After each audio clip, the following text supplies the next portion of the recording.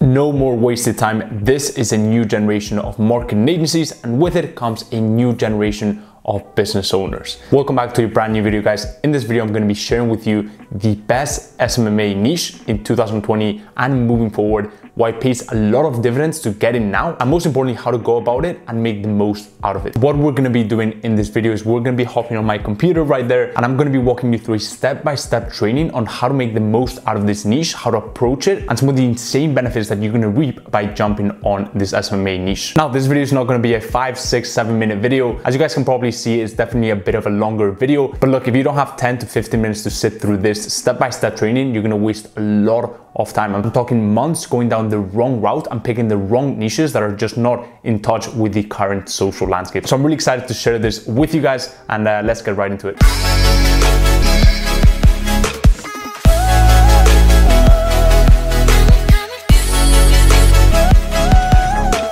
The best SMMA niche. Let's get started. And so without further ado, I'm gonna get straight into it because the main value of this presentation isn't actually knowing what the niche is, right? It's actually understanding why I picked this niche and also how to approach this niche and get the best returns on your time, energy, and uh, money investment and how to actually scale your agency very profitably and very, very fast uh, with this niche. And so drumroll, e-commerce, okay? Now, here is what we are gonna cover in this presentation. The first thing is a niche within a niche, how to get a net over competitors within the e-commerce niche and my unpopular opinion when it comes to the e-commerce niche, okay? The second thing is outreach. Why outreach in the e-commerce niche is two to three X more effective than other niches. And the final thing is pricing, why you will inevitably get paid more with e-commerce clients. And so really excited for this and let's get right into it. First thing is a niche within a niche. Now, what I want you guys to understand is that, and, and my unpopular opinion, but factual, is the fact that e-commerce is not a niche, right? And I hear e-commerce get thrown around a lot as a, as a niche. And quite frankly, it's just not a niche, right? What we need to understand is that e-commerce is not niche, it's just a way of doing business. The same way that local business is not a niche, e-commerce and local business is just a way of doing business. It's more of the, the business model uh, than the actual niche, right? For a niche, it's very, very broad. It's way, way too broad, right? And so what we must do is we must find a sub niche within the e-commerce niche. And guys, you know, when I started my, my social media marketing agency, just a bit of a, you know, in my experience, for example, and just a bit of background info uh, on my journey is I picked uh, e-commerce uh, when I started out. Now, there wasn't anyone talking about e-commerce. And quite frankly, I wish I had watched this video when I just started out because what I did is I jumped into the e-commerce niche and I didn't pick a top niche. I pretty much just went for every single e-commerce business I could find on the internet. And it was honestly a mess, right? I didn't get any results until I finally found my sub niche and I started becoming an authority in the sub niche, right? And I started getting credibility, right? I started getting social proof, and it became just exponentially easier to reach out to clients in those in those sub niches tell them that, hey, look, uh, you know, I'm managing this client or these two clients and get clients exponentially easier that way, right? And so that is why it's of extreme value to, to find your sub niche as well as, you know, once you have your sub niche, you can actually get to know the sub niche like the palm of your hand, right? And it's, it's honestly just such a blissful uh, feeling when you know your sub niche, you know the competitors in the sub niche, you know what offers work in the sub niche, you know what funnels uh, people are using and work in that sub niche, right? You can speak their language, you know what the current trends are, you know what the, the the, the current landscape of that niche looks like, right? You know what the top players are, you know you know how much they sold their businesses for, you know who acquired them, like all this stuff, right? That that just gives you a massive edge over other agencies who just don't understand the, the sub niche just like you do. Okay, so how do we actually go about this process?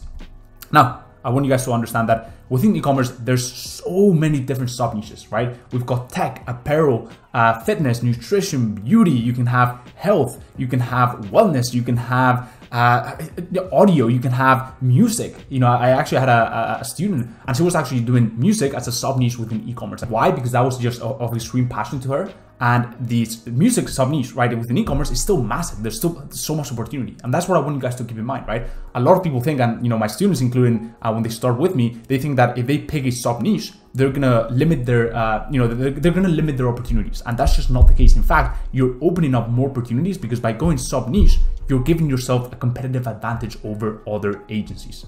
Okay, and so these are just five examples that you guys um, can take a look at. But bottom line is I recommend you guys pick something that you have close affinity to already. For example, if your passion is fitness, then you would take a look at uh, the sub niche uh, fitness within the e-commerce uh, landscape, right? The main gist here is that instead of saying, okay, you know, since I like fitness a lot, I'm gonna go for gyms. Instead of doing that, you realize that okay, e-commerce is where it's at right now, especially right now in the in the current social landscape with what we're currently going through um, and, and so you realize that, okay, you know, e-commerce is where it's at right now. There's never been more demand for online shopping. And these are the businesses that are killing it right now, but not only right now, but, you know, going forward as well, right? Uh, and so instead of going, okay, I, I really like fitness, I'm to pick gyms. Instead of doing that, you're to pick fitness within the e-commerce landscape. Okay. The same way that if you really like food, right, and if you you know if you're really passionate about nutrition, instead of doing restaurants, right, instead of doing restaurants, you do nutrition within the e-commerce landscape if you really like beverages or if you really like I don't know drinks,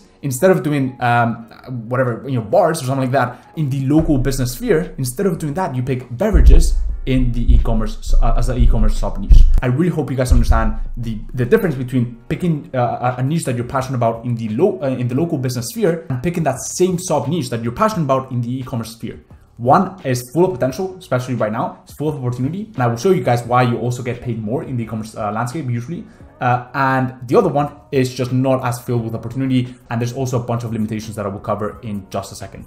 But yeah, that is what I want you guys to understand. That within e-commerce, you, you must pick your sub niche. Now, the next thing that you're gonna do is you're gonna identify the different categories within your sub niche. For example, if I pick tech, I recognize that there's wearables, right? There's gadgets, there's gaming, there's computing, there is, for example, there is um, you know health gadgets. Even uh, tech could be uh, you know audio devices um, like this, for example. Uh, tech could be cameras, for example, filming. Uh, I don't know lights. There, there's so many different categories that you can tap into uh, in the tech sub niche. Now, the main distinction is that the first, the first category, the our sub niche, that is us branding ourselves externally as an agency, right? We are in the tech space and we help tech businesses. The other category that, uh, and the reason why you need, you still need to identify the different categories that are available in your sub niche is simply just for you internally to have more clarity and focus when you're doing outreach. And that is one of the things that has helped me tremendously within my sub niche and, and um, for my outreach, right? We don't just, you know, when, when you pick apparel, there's so many, for example, let's just say if you pick apparel, there's so many different categories that you can tap into. You can tap into gym apparel, you can tap into casual apparel, you can tap into uh, you know, really bespoke apparel. Uh, there's so many different uh, categories. The same with with fitness. You can tap into, uh, for example, fitness could be even uh, nutri- you know, snacks or, or gym snacks. fitness could be also gym equipment, home equipment. There's so many different categories, right? And so that, that is what I want you guys to understand. This subsection that we do is simply for our own clarity, so that, for example, one week or you know, for two weeks or for a whole month, you are just reaching out to wearables uh, companies, right? Or to health gadgets, right? And the reason why we want to do that is because, look, if you reach out to a thousand businesses in one single month for health gadgets, what are the type of clients you're gonna get? You're probably gonna get health gadget clients, right? And by having this uh, laser focus into one category, that gives you leverage because if you land one or two health gadget clients, then you can take that social proof and that authority that you've uh, gained from signing two health gadget clients, uh, and then you can go on to other health gadget brands and I reach out to them and tell them, hey, you know, I'm managing this clients. Obviously, don't do that if they're very, very close competitors, okay? But you know, you can tell them, hey, I'm managing these two clients. Let me help you get the same results that we're getting for them, right? Uh, and so that that's why we pick a sub niche because it's gonna give us a ton of clarity and focus when it comes to outreach. And not only that, but once we once we sign a, a wearable client uh, by having that laser focus uh, in the wearable category for you know a month, then it's going to be much easier for us to then scale that uh, uh, and sign more wearable clients uh, later down the line. So that is what I recommend you guys do within e-commerce. Pick a sub niche. Now, the second thing that I want to talk about is outreach. By the way, in this video, I won't actually cover how to go about picking your sub niche. I've already created this video previously in my channel going over the whole method that I recommend you guys uh, follow. Uh, it's, it's, very methodical. It's, it's, a very methodical method to go about uh, finding your, your sub niche. But yeah, that, that's really the, the first section, finding your sub niche. The second section, as I said, is outreach. And here are the ecom outreach benefits. The first thing is the worldwide economy right? There are no geographical limitations, and e-commerce businesses are completely fine with that because that's how they operate their business too, right? And and that's the thing about e-commerce, like the the business owners that you're speaking to, they're pretty much on the same boat. Like they don't want to be tied to a physical office. Sure, some do, right? Sure, some do have a physical office, but they're pretty much completely remote. They want to have that time location freedom. And that's another reason why people make uh, and, and, create a, an e-commerce business. And they completely understand that you're remote, right? That you don't have to meet them physically or that there's no need for that physical interaction and that, that physical component, right? Whereas for local business, if you're signing a, I don't know, a restaurant or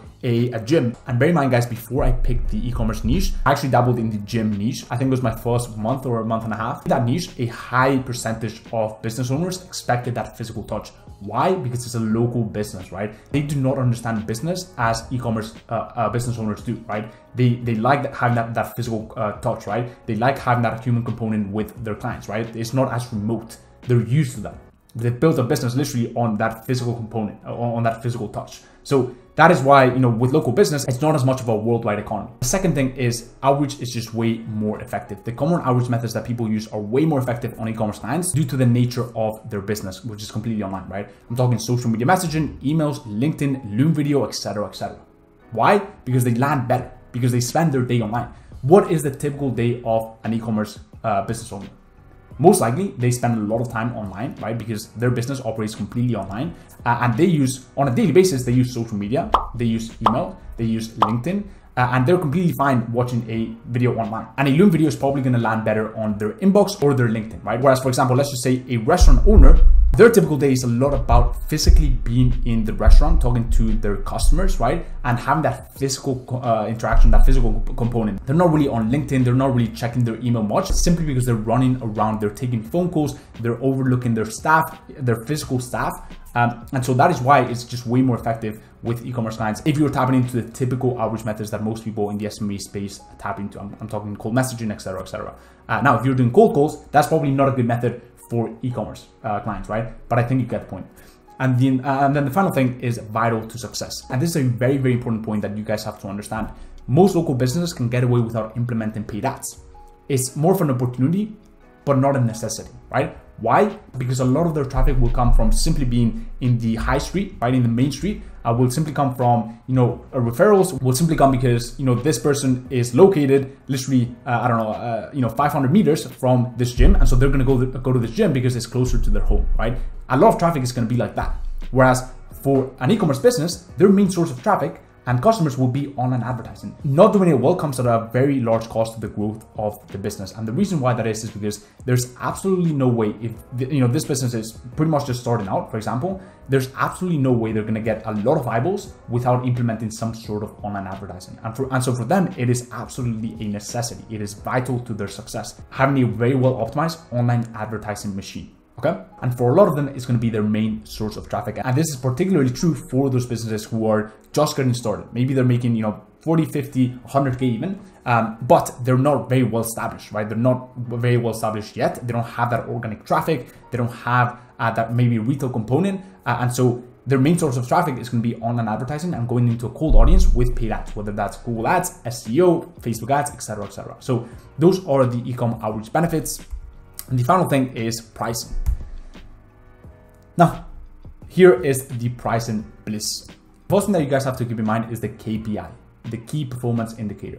The KPI that we optimize for is purchase conversion value. At the end of the month, what we look at is not how many leads we've brought them, it's literally how much money we have made them. We are responsible for that bottom line. We are responsible for the purchase. We are getting someone who hasn't heard about their brand to purchase a product. And sure, that might be a bit harder than collecting leads, but that is why we have a contractor in place who's an absolute expert at it and has been doing this for ages, right? And so that is uh, you know the first thing. Our value is very clear at the end of the month. There's no discrepancies and everything is under our control unlike local business. With local businesses there can be some discrepancies at the end of the month as to what what your value is quite simply because it's not very clear. Yes they know how many leads you brought them but the second thing is converting that lead is not under your control. Sure you can give them some tips on how to convert these people but at the end of the day is really not under your control right and their success is really not under your control. And that is one of the things that I don't like about local business. I want to make sure that I die on my sword, okay? And basically, what, what that means is if we get them incredible results, that is completely down to us. If we get them really poor results, that is completely down to us.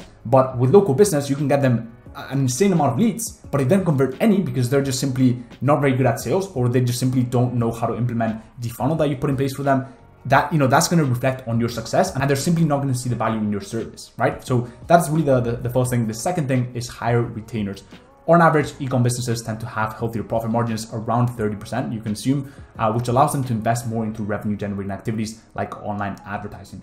Most local businesses have so many overheads that they need to take care of. I'm talking staff, I'm talking electricity, bills, gas, rent, all these overheads. And so obviously at the end of the month, their profit margins are very slim. They might be already investing into some sort of advertising, uh, maybe billboards or, or, or something like that. It doesn't actually have clear returns, but it's still cutting into their marketing budget.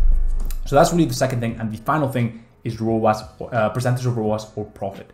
Okay, this is where it really gets fun with pricing for ecom businesses because you can add incentives on top of the service fee, and th- these incentives are usually a win-win for clients and agencies.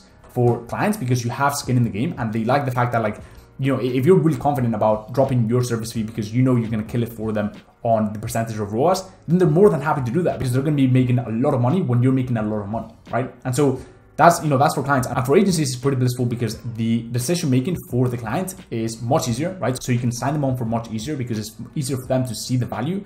Uh, and also at the end of the month you can have a big pile of cash that is it's not just your service fee but it's just coming from your good performance. And the final thing is you can get to a point with your agency where most of the money you generate comes from incentives. And that's kind of where my agency stands right now simply because i know that i have a very very good team in place and we can get them very, very good results. And so most of my agency clients right now are under a service fee plus a percentage of ROAS. So guys, that is that for our presentation. Really hope you enjoyed this. I really hope you guys can see why e-commerce has so much potential, right? If you're already doing and, you're getting really good results with uh, a niche, just stick to that, okay? Don't jump into e-commerce, I would, I would, recommend. But if you're looking for something more, if you're not really getting results with your uh, with a local business uh, niche, or you're in the situation where most of the local businesses that you would reach out to are in lockdown, then the e-commerce niche is something that you can certainly look into and consider if you enjoyed this video, leave down below any questions, any comments you may have on this video. If you haven't subbed to my YouTube channel, there's so much content coming out on entrepreneurship and SMMA with a 360 approach to sales, outreach, and e-commerce. Lastly, if you haven't checked out my free private mentorship community on Facebook, the Client Closers,